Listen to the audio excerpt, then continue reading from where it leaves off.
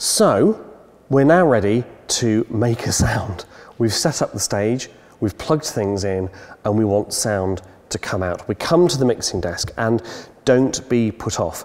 This is, it's true, a complex piece of kit. It can do loads of different things. There's all these buttons and knobs and things on it. Um, and that can be really intimidating. Good news is it's still a mixing desk. It's laid out exactly like the analog desk that we've seen in the basic introduction to what a PA system does. Um, so you don't need to get into an awful lot of detail to get a basic thing working on this desk.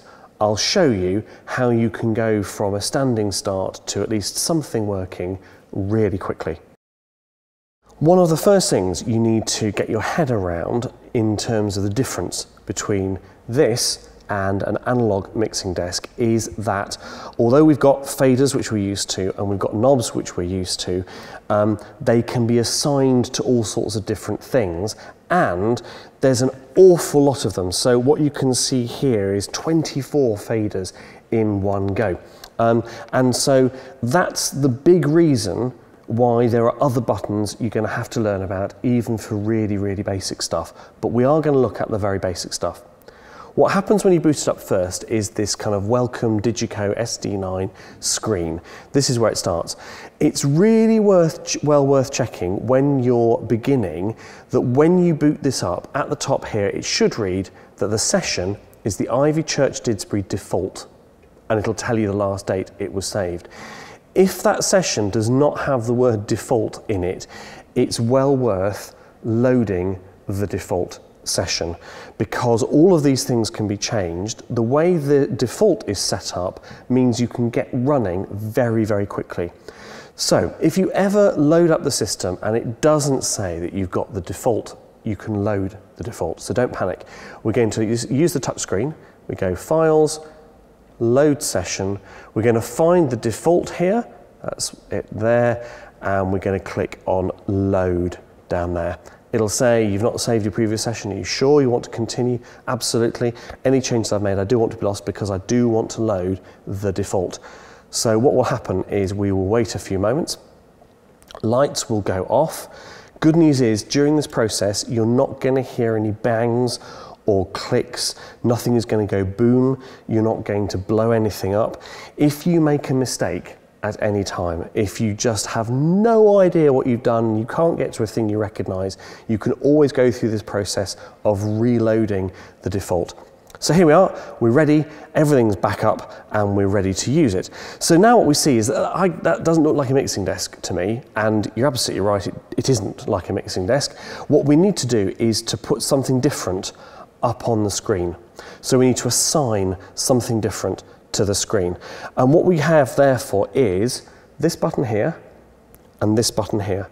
And these are for what's being monitored. We assign this slot, one, two, three, four, five channels, one, two, three, four, five up there, or this slot, one, two, three. And we can switch between them to our heart's content and the right things come up on the screen so we know what we're doing. If you ever need to return to the thing where you load the session, load the default, press master screen button here, takes you back. This is where you go, help, help, help, reload the session. Um, and you can, uh, you can do that to your heart's content. So I always recommend when you've got some time, play have a feel for this, but we're kind of doing the very basic. We want to get the handheld microphone running. That's it. Or we've got a vocal and an acoustic guitar on the stage as well. We want them to be live as well. How do we do it? So first thing is we need to decide, choose for ourselves, what things are active on these controllers.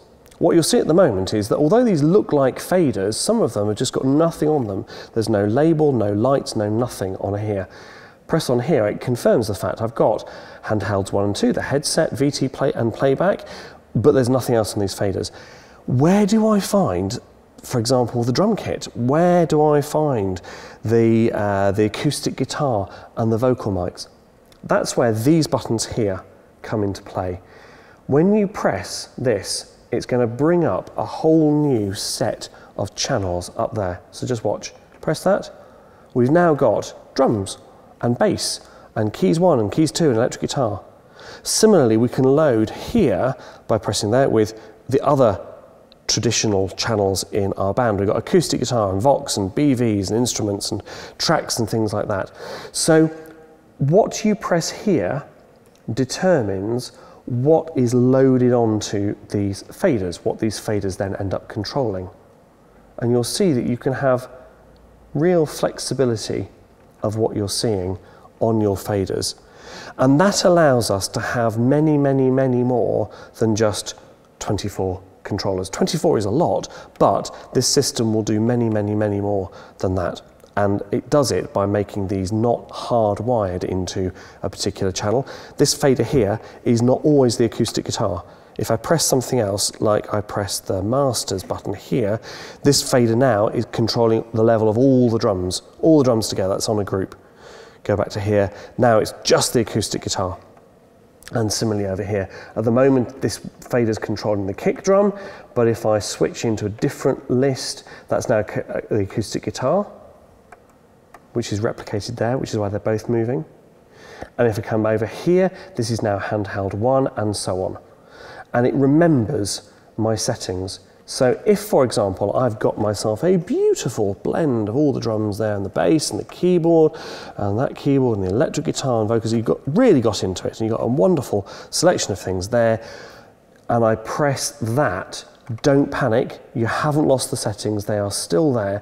I can still adjust handheld one and two and the headset and some music or video playback on there. I can come back, I've still got my same settings, just as when I go to that panel, I've got those settings saved. So you don't lose things just because you're not actually seeing them here. So let's take all these down. Let's go back to that very basic scenario we proposed, which is that we have on the stage set up the acoustic guitar and the lead vocal, and we want one of these radio mics, handheld 2, to be live. How do we do that? Well, let's do a demonstration, first of all, with handheld 2. Learn about these mics, very basic. They've got a red thing on the bottom, a little button. Press and hold it, and it switches on. Ta-da! Very nice. Uh, it's labelled with a 2 at the bottom, but it will also tell you HH2 in the little panel there. To switch it off, you do exactly the same thing. You press and hold until the light goes off. And that's now off. Um, you can change the battery in them by unscrewing the panel there, change the battery, very straightforward, screw it back up and switch on. So, how do we go from hearing or speaking into this microphone to actually hearing it? Well, first of all, I don't see HH1 on my screen. I want to find it on a mixer panel, but it's not here anywhere. So I'm going to just flick around. It's fine to keep flicking and hunting till you find what you want to find. Here we go, it's on this panel three here. Now actually, you'll also find it somewhere else sometimes, but not always. Yes, there we are. So on the control groups in the master, it's on here as well. I'm going to speak into it, and you see straight away that because this system is set up with lots of default settings already programmed in, you can see handheld 2 it's actually replicated both sides. Um, and I, you see there's a signal. Hooray, there's actually a signal, but we can't hear it yet. So what's happening is the signal's coming into the top of this strip. We know that it's got good gain because it's preset for the default Ivy settings.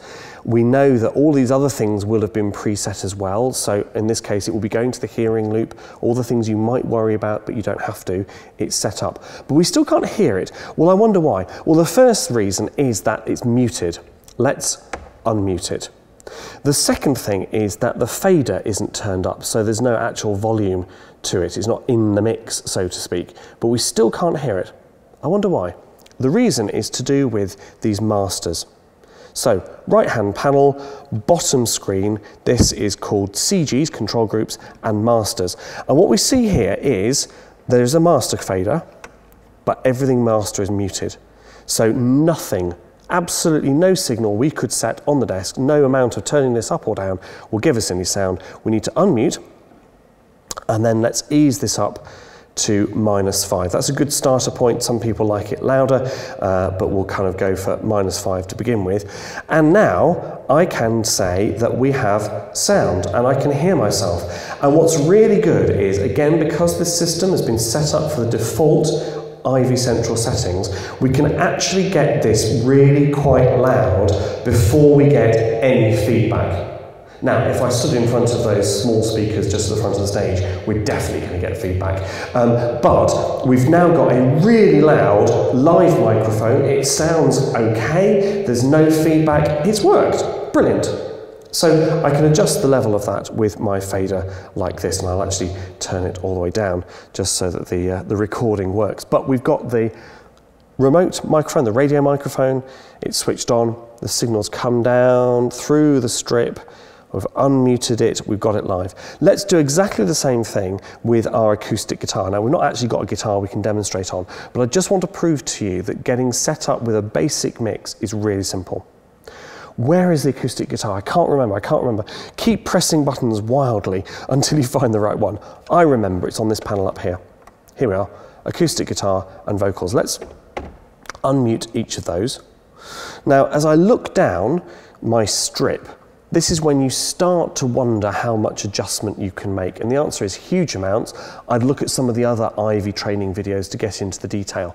But I just want to highlight a couple of things to reassure you about the setup you will find when you go to the default settings here.